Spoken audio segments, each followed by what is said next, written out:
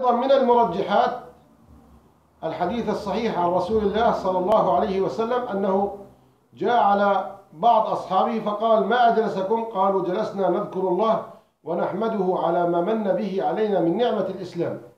فإذا الجلوس لشكر الله على نعمة الإسلام على نعمة القرآن على نعمة الجنة على نعمة على أي نعمة من نعم الدين أو الدنيا هذا مسنون.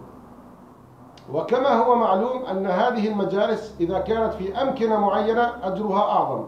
لأن من جلس في المسجد غير مسجد الأقصى والمسجد النبوي ومكة هذا أجره أقل.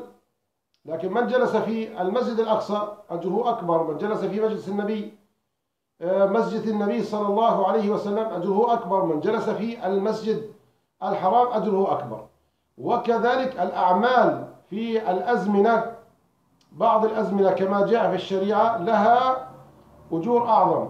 فالعمل في رمضان ليس كالعمل في غيره والعمل في العشر الأول من ذي الحجة أو في العشر الأواخر من رمضان ليست كالأيام الأخرى كما جاء في النصوص.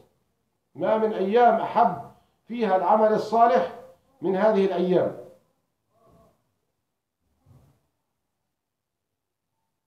فإذا هذا الاجتماع في هذا اليوم الذي فيه من الله على أمة الإسلام بمولد النبي صلى الله عليه وسلم شكر الله على هذه النعمة. هذا له مكانة عند الله سبحانه وتعالى.